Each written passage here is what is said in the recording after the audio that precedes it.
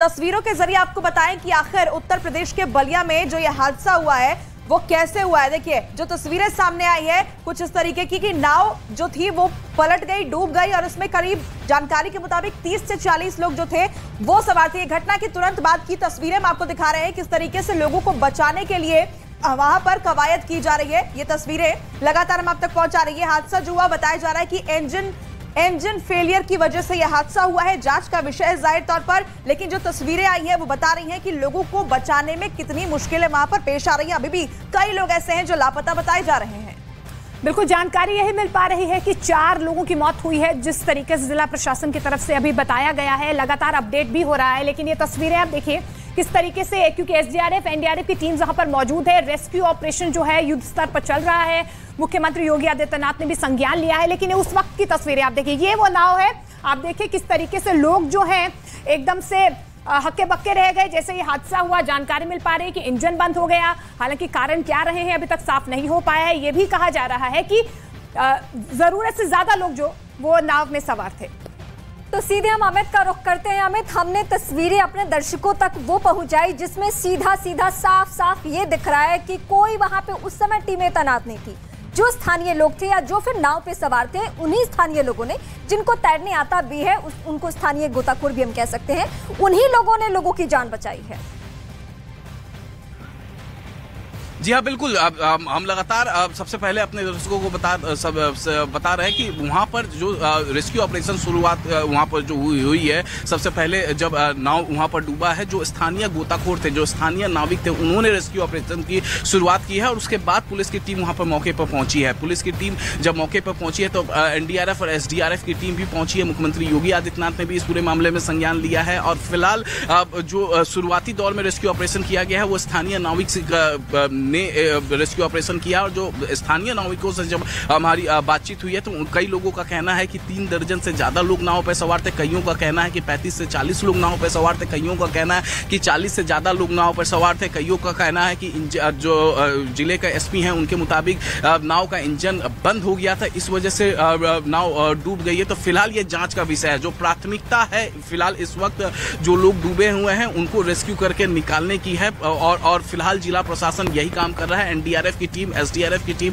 मौके पर पहुँच गई है। ये पूरा एक मुंडन का कार्यक्रम था बताया ये जा रहा है कि मुंडन का कार्यक्रम था और जो लोग थे वो नाव पर सवार होकर बीच गंगा में जाकर मुंडन का कार्यक्रम वहाँ पर करने वाले थे लेकिन उसी दौरान ये हादसा हुआ है। काफ़ी दुखद हादसा है। जिला प्रशासन सवाल हैं जिनके लिए अब जाँच जो है वो की जाएगी उसके बाद ही उनकी जानकारी मिलेगी। लेकिन दर्शकों को यह भी बताइए कि क्या लिमिट है? कितनी क्षमता होनी चाहिए? नाव पर जब लोग सवार होते हैं उसके लिए क्या क्षमता तय की गई है? और जो इंजन फेलियर की बात सामने आ, आ रही है उसे परखना किसका काम होता है?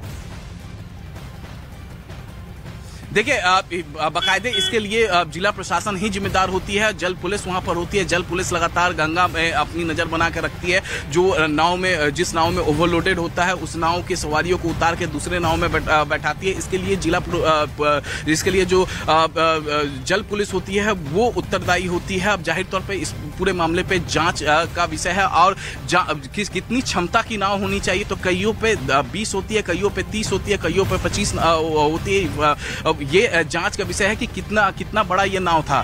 तो फ़िलहाल ये पूरी तरीके से ये जाँच का विषय है कि ये कितनी बड़ी नाव थी और इस नाव की क्षमता कितनी थी कितने लोग सवार थे। हमें देखिए प्राथमिकता यही रहेगी तो कि जल्द से जल्द रेस्क्यू ऑपरेशन को कामयाब बनाया जाए और ज़्यादा से ज़्यादा लोगों को बचाया जा सके। लेकिन हमें जिस तरीके से आप जानकारी दे रहे थे कि मुंडन का कार्यक्रम यहाँ पर चल रहा था क्या किसी तरीके की परमिशन यहाँ पर ली जाती है ऐसे कार्यक्रम के लिए? कितने लोग होने चाहिए बोट में? क्या इस तरीके के दिशा निर्देश दिए जाते हैं? और क्या जब नाव जाती है पानी के अंदर, उससे पहले कोई चेकिंग होती है बाकायदा कि कितने लोग सवार हैं?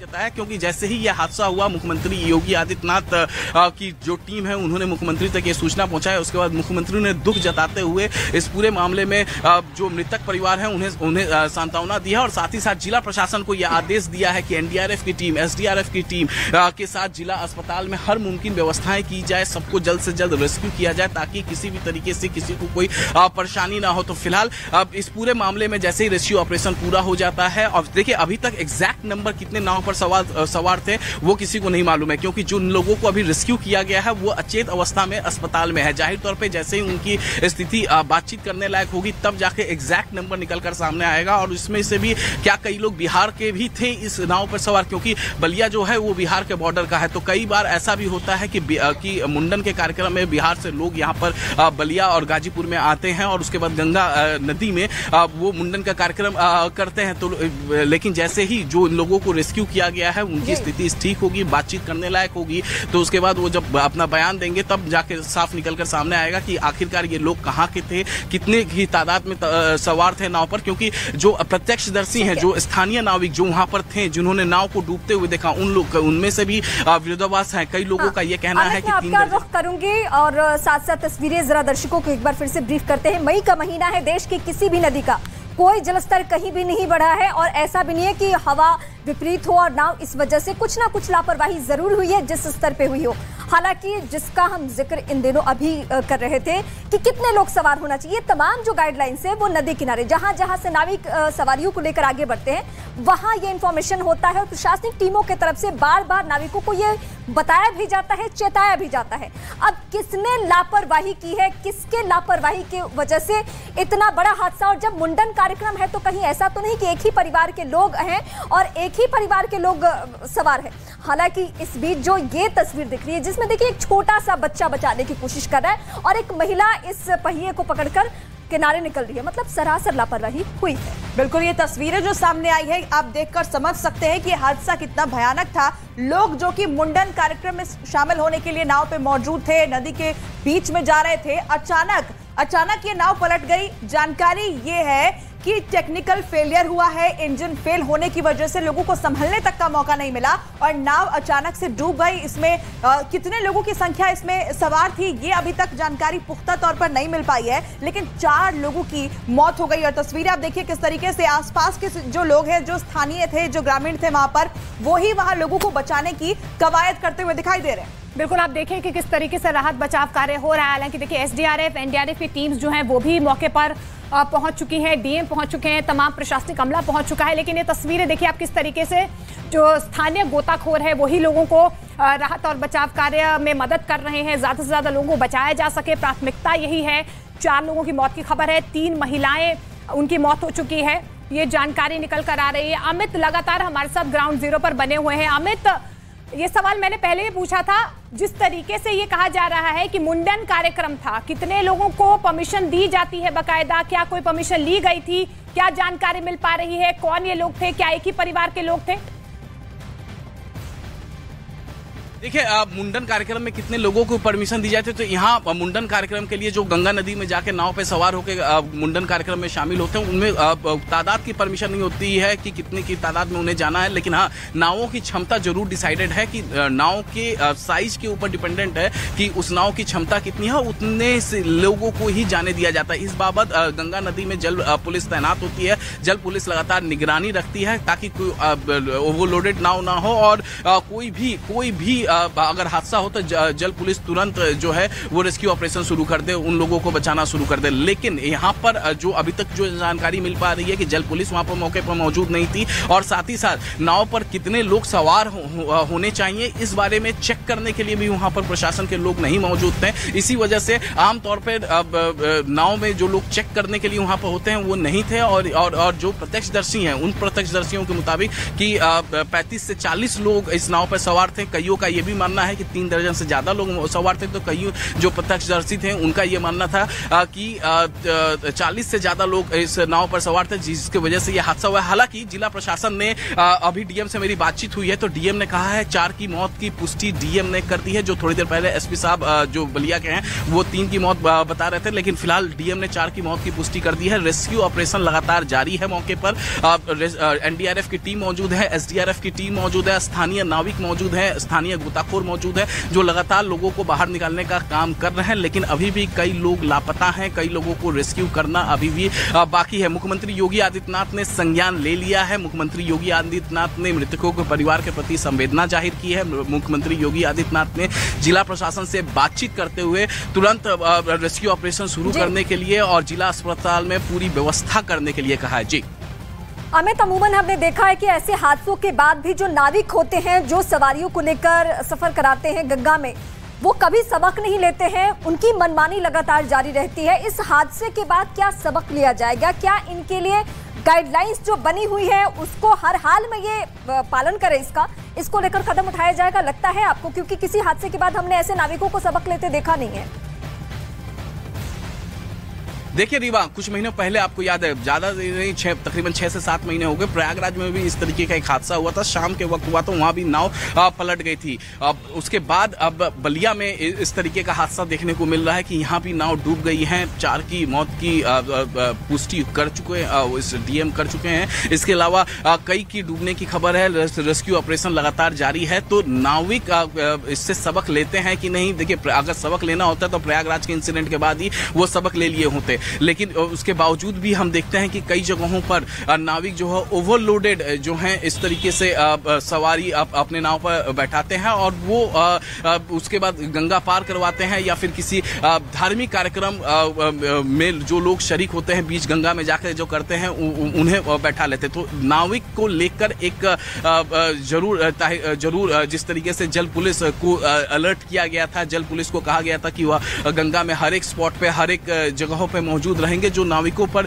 खास निगरानी रखेंगे। लेकिन यहाँ पर जो बलिया में स्थिति देखी गई है जो प्रत्यक्षदर्शी थे कि वहाँ पर किसी भी तरीके से कोई जल पुलिस वहाँ पर था नहीं। और खासतौर से जो लोग चेक करने वाले होते हैं कि चेक करें कि नाव पर कितने लोग सवार हुए तो वहाँ पर प्रशासन की तरफ़ से कोई वहाँ पर, जल पुलिस की तरफ़ से कोई था नहीं। तो फ़िलहाल ये सब जाँच का विषय है, लेकिन जो प्राथमिकता है इस वक्त सभी लोगों को रेस्क्यू करने की, क्योंकि मुख्यमंत्री योगी आदित्यनाथ ने खुद बातचीत की है। इसके अलावा जो दानिश आज़ाद योगी सरकार के कद्दावर मंत्री अल्पसंख्यक कल्याण मंत्रालय उनके पास है। उन्होंने भी जिला प्रशासन से बातचीत की है और उन्होंने जिला प्रशासन से कहा है कि पूरी व्यवस्थाएँ रेस्क्यू ऑपरेशन की वहाँ पर की जाए, ताकि सभी लोगों को बचाया जा सके। जिला अस्पताल में तुरंत लेकर जाया जाए इलाज कोई नई मुफ़्त कराया अपडेट आपके पास है? रेस्क्यू ऑपरेशन को लेकर पंद्रह लोगों को बचाया जा चुका है चार लोगों की मौत की खबर है। बाकी जो लोग लापता बताए जा रहे थे उनमें से क्या और कुछ रेस्क्यू हुआ? ऐसी जानकारी मिली आपको। देखिए, फ़िलहाल जो है, रेस्क्यू ऑपरेशन लगातार जारी है। अभी नया अपडेट आया नहीं है, लेकिन जो बताया जा रहा है कि 15 लोगों को रेस्क्यू किया जा चुका है। अभी और लोगों को रेस्क्यू करना बाकी है। लगातार जो गोताखोर हैं, एनडीआरएफ की टीम है, एसडीआरएफ की टीम है, वो लोग जो हैं, वो उन्हें लगातार वो रेस्क्यू करने में लगी हुई है। लेकिन गंगा में पानी काफ़ी ज़्यादा था न, गंगा नदी काफ़ी ज़्यादा गहरी है। इस वजह से काफ़ी ज़्यादा मशक्कत का भी सामना करना पड़ रहा है। काफ़ी ज़्यादा दिक्कतें आ रही हैं रेस्क्यू ऑपरेशन में। बहरहाल जो स्थानीय गोताखोर हैं जो स्थानीय नाविक हैं उन्होंने सबसे पहले रेस्क्यू ऑपरेशन शुरू किया और उसके बाद पुलिस वहाँ पर मौके पर पहुँची है। पुलिस को इस पूरे वाक्य की जानकारी इस हादसे की जानकारी स्थानीय लोगों से ही मिली है। लेकिन जैसे ही स्थानीय गोताखोरों ने स्थानीय नाविकों ने नाव को डूबते हुए देखा वो तुरंत तैरते हुए स्पॉट पर पहुँचे और उन्होंने तमाम पूरी व्यवस्थाएँ की और हम जैसे और उस तरीके से हम तस्वीरें भी हम दिखा रहे हैं लगातार अपने दर्शकों को कि किस तरीके से नाविक जो हैं स्थानीय नाविक वो वहाँ पर रेस्क्यू ऑपरेशन कर रहे थे। फ़िलहाल चार की मौत की पुष्टि हो चुकी है और इनमें से चारों महिलाएँ बताई जा रही हैं। जिन लोगों को रेस्क्यू किया गया है फ़िलहाल वो काफ़ी अचेत अवस्था में अचेत अवस्था में है जिनसे बातचीत अभी हो नहीं पा रही है। जै- लेकिन जैसे ही वो होश में आएँगे जब उनसे बातचीत होगी तो एग्जैक्ट नंबर मालूम चल पाएगा कि अमित क्या exact अस्पताल में भर्ती किया गया है? कौन से अस्पताल में भर्ती किया गया है? क्या ये जानकारी है आपके पास? देखिए जिला अस्पताल में उन लोगों को भर्ती किया गया है जिन्हें रेस्क्यू किया गया है उन्हें जिला अस्पताल में भर्ती किया गया है। जिला अस्पताल में लगातार उनका इलाज चल रहा है जितने भी डॉक्टर थे जिन जो जिनका दूसरे शिफ्ट में अ, अ, में उनको आना था उन्हें भी जिला अस्पताल ने बुला लिया है और लगातार उनका इलाज चल रहा है। क्योंकि मुख्यमंत्री योगी आदित्यनाथ ने भी निर्देश दिया है कि जिला अस्पताल में पूरी व्यवस्थाएँ होनी चाहिए। सभी जो जिन जिन्हें रेस्क्यू करके लाया जा रहा है उनका इलाज मुफ़्त में होना चाहिए। किसी भी तरीके से कोई दिक्कत नहीं होनी चाहिए तो लिहाजा उनका इलाज हो चल रहा है लेकिन फ़िलहाल अचेत अवस्था में है। जैसे ही उनकी स्थिति ठीक होगी बातचीत करने लायक होगी वो ज़ाहिर तौर पे वो बताएँगे कि, कि नाव पर कितने लोग सवार थे नाव पर इंजन फेल हुआ था या फिर ओवरलोडेड की वजह से ये हादसा हुआ है ये ये सब जाँच का विषय है लेकिन इसमें से सबसे अहम होगा कि जैसे ही इन, इनको होश आएगा ये बातचीत करेंगे उसके बाद जो एग्जैक्ट फिगर है कि क्योंकि जिस तरीके से विरोधाभास लगातार बना हुआ है कई प्रत्यक्षदर्शियों का कहना है कि 35 से 40 लोग नाव पर सवार थे कईयों का कहना है कि तीन दर्जन दर्जन से ज़्यादा लोग सवार थे। कईयों का कहना है कि चालीस से ज़्यादा लोग सवार थे। तो एग्जैक्ट फिगर कितना है? दरअसल इनमें से एक भी शख्स को अगर जैसे ही जल्द से जल्द होश आता है तो उसके बाद एग्जैक्ट फिगर निकल कर सामने आएगा और रेस्क्यू ऑपरेशन जो है, वो लगातार जारी है। जी। बिल्कुल, अमित, आप हमारे साथ बने रहिए। कुछ तस्वीरें और हम दर्शकों को लगातार दिखाने की कोशिश कर रहे हैं कि कैसे ये पूरा हादसा हुआ है, किस तरीके से नाव पलटी है क्या कार्यक्रम चल रहा था? जानकारी मिल पा रही है कि मुंडन का कार्यक्रम चल रहा था और आप देखिए, ये तस्वीरें किस तरीके से रेस्क्यू ऑपरेशन यहाँ पर सबसे पहले, क्योंकि वहाँ पर स्थानीय गोताखोर जितने भी थे, वो मदद के लिए पानी में कूदते हैं और देखिए किस तरीके से, इस तरीके से लोगों को रेस्क्यू किया जा रहा है। कुछ बच्चे, कुछ महिलाएँ जो हैं वो आपको तस्वीरों में नज़र आ रहे होंगे। इससे पहले वो नाव जो पलटी है, क्योंकि बार बार जानकारी मिल पा रही है कि इंजन खराब हो गया था। टेक्निकल दिक्कत आ गई थी। 30 से 40 लोग सवार थे। क्या क्षमता से ज़्यादा थे या नहीं थे? कई ऐसे सवाल हैं जो अब निकल कर आ रहे हैं। हालाँकि देखिए, प्राथमिकता यही है कि जल्द से जल्द तमाम लोगों को जो लापता है, उन्हें पानी से बाहर निकाला जाए, सुरक्षित उन्हें जिला अस्पताल, क्योंकि इलाज उनका चल रहा है। फौरी राहत के तौर पर उनका मुफ़्त इलाज किया जाएगा। मुख्यमंत्री योगी आदित्यनाथ ने खुद संज्ञान लिया है। अब एक बार फिर से हम फोकस करेंगे दो तस्वीरें इस वक्त दिख रही है। ये जो तस्वीर आप देख रहे हैं, इससे आप नाव के साइज़ के बारे में पता कर सकते हैं, क्योंकि ये नाव का एक किनारा है। इस किनारे को देखकर आप बिल्कुल समझ सकते हैं कि ये जो नाव है ना, तीस लोगों ना तीस लोग इस पे सफ़र कर सकते हैं ना चालीस लोग। अगर तीस से चालीस लोगों ने इस पे सफ़र किया है, इसका मतलब कि सरासर लापरवाही है। जिस जिस स्तर पे हुई है वहाँ से ही दिक्कतें आ रही हैं और मैं एक बार फिर से अपने सहयोगी अमित का रुख करूँगी। अमित, मैं दो तस्वीरें अपने दर्शकों को दिखा रही हूँ। पहली तस्वीर जिसमें नाव के साइज़ के बारे में थोड़ा बहुत आइडिया लग पा रहा है। दूसरी तस्वीर यह है कि स्थानीय गोताखोर, जिसमें एक बच्चा दिख रहा है मुझे, वो बच्चा एक महिला को बचा रहा है। मतलब इस तरीके से लापरवाही। देखिए जो जिन चार लोगों की मौत हुई है, उन उन चार लोगों में से जिन जिन चार लोगों की मौत हुई है, वो चारों महिलाएँ हैं। इसके अलावा जो डीएम है, डीएम के मुताबिक तीस से ज़्यादा लोग नाव पर सवार थे। ज़्यादातर लोग जो हैं, जब नाव डूबी है तो जो जो रस्सी था, उस रस्सी के सहारे अपने आप को बचाने की कोशिश कर रहे थे और जो स्थानीय नाविक थे, वो वो स्थानीय नाविक जो हैं उन्होंने ज़्यादातर लोगों को रेस्क्यू किया फ़िलहाल मौके पर रेस्क्यू ऑपरेशन लगातार जारी है और जो नाविक था बताया ये जा रहा है, जो डीएम की तरफ़ से जो अभी बात हुई है कि जो नाविक था, जिसका नाव था, वो उसके बाद से फरार हो गया है, फरार हो गया है। फ़िलहाल वो कहाँ है, इस बारे में जानकारी नहीं है। फ़िलहाल जिला अस्पताल जो है रेस्क्यू ऑपरेशन वहाँ पर लगातार जारी कर रहा है चला रहा है, लेकिन जो ऑफिशियल वर्जन अभी जिला प्रशासन की तरफ़ से आया है, जो डीएम ने कहा है कि नाव पर 30 लोग सवार थे, इंजन खराब हुई थी, या फिर हवा तेज थी जिससे नाव का संतुलन बिगड़ गया, ये सब जाँच का विषय है। फ़िलहाल प्राथमिकता जो है, वो है कि जल्द से जल्द सभी का रेस्क्यू कर लिया जाए। चार की मौत की पुष्टि हो चुकी है चारों महिलाएँ हैं, और इसके अलावा कई लोगों को रेस्क्यू किया गया है। जैसे ही उनको होश आएगा उसके बाद उनसे जिला प्रशासन बातचीत करेगा पुलिस बातचीत करेगी और उसके बाद ये साफ़ हो पाएगा कि एग्जैक्ट नंबर फिगर कितने थे ठीक है हमें दोबारा आपका रुख करेंगे लेकिन एक बार फिर से हम दर्शकों को तस्वीरों के ज़रिए बताने की कोशिश करते हैं कि आखिर ये पूरा हादसा कैसे होता है। उत्तर प्रदेश के बलिया में ये बड़ा हादसा हुआ। नाव हादसे पर आपको बता दें जानकारी ये मिल पा रही है कि उस पर 30 से 40 लोग उस नाव पर सवार थे। अब जाँच का यह पूरा विषय है कि आखिर उस नाव की क्षमता क्या थी, क्या उस पर क्षमता से ज़्यादा लोग सवार थे। लेकिन इस बीच जो तस्वीरें हैं, वो हम आपको एक बार फिर से दिखाते हैं और समझाने की कोशिश करते हैं कि आखिर देखिए यह हादसा हुआ कैसे? बलिया में यह बड़ा हादसा गंगा नदी में ये नाव जा रही थी और यहाँ पर ये नाव जिस पर एक ही परिवार के लोग हालाँकि बताए जा रहे कि वो सवार थे क्योंकि मुंडन का कोई कार्यक्रम था, लेकिन उनको बिल्कुल भी अंदाज़ा नहीं था कि जैसे ही वो नदी में आगे बढ़ेंगे, इस नाव, ये नाव जो है वो पलट जाएगी, डूब जाएगी। देखिए, हम आपको कुछ तस्वीरें ब्लर करके भी दिखा रहे हैं क्योंकि इसमें बच्चे भी हैं और ये जिस तरीके की तस्वीरें हैं वो आपको विचलित भी कर सकती है, लेकिन ये तस्वीर बताने के लिए काफ़ी है कि आखिर उसके बाद किस तरीके की अफरा तफरी मच रही होगी। लोग खुद को बचाने के लिए रस्तियों को पकड़े हुए नज़र आ रहे हैं, दिखाई दे रहे हैं। बिल्कुल, और देखिए पूजा, किस तरीके से वो तस्वीर भी हम दिखा रहे हैं, जब नाव पलट गई। उसके ऊपर आप देखिए किस तरीके से लोग जो है मशक्कत कर रहे हैं कि वो नाव के ऊपर चले जाएँ। ये ये देखिए, ये वो तस्वीर है, ये नाव पलट गई है। पूरी जब पलटती है तो देखिए लोग किस तरीके से जद्दोजहद कर रहे हैं कहीं ना कहीं वो नाव के ऊपर चढ़ जाएँ। यानी कि लोग अपने आप को बचा रहे थे। इसके अलावा जो गोताखोर थे, स्थानीय गोताखोर, उन्होंने प्राथमिकता के तौर पर जिस तरीके से बनाया, लोगों की मदद वहाँ पर की है। तो नदी के तेज धारा के बीच में अगर ये नाव पलट के इस तरीके से हो जाए, लोग अगर उस पर सवार भी हो जाए तो फिर उनको वहाँ से बचाकर किनारे तक लाएगा कौन? ये भी सवाल अहम है और तस्वीरें यही बता भी रही मैं फिर से अमित का रुख करूँगी। अमित, एक बार फिर आप बताएँगे कि वाकई जो जो तस्वीरें हम अपने दर्शकों के सामने दिखा रहे हैं, वो तमाम तस्वीरें ये बता रही है चीख चीख कर बता रही है कि लापरवाही हुई और आपने तो एक और बड़ा अपडेट ये दिया है कि नाविक फरार हो चुका है, यानी उसे मालूम है कि उसने गलती की है।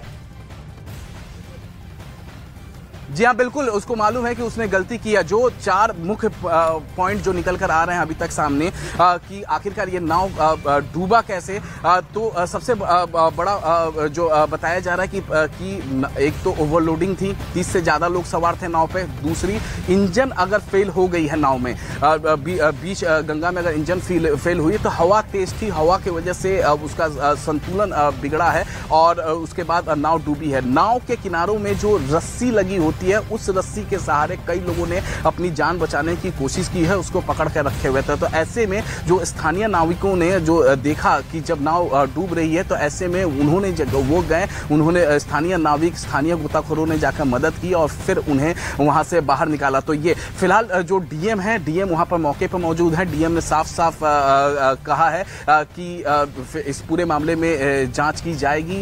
सभी लोगों को रेस्क्यू स्पॉट से किया जा रहा है और इस और इसके अलावा डीएम का ये भी कहना है कि जो लोग खबर पर आप अपनी नज़र बना रखेगा तो फ़िलहाल अपडेट ये है कि जाँच के निर्देश दे दिए गए हैं करीब पंद्रह लोगों का रेस्क्यू कर लिया।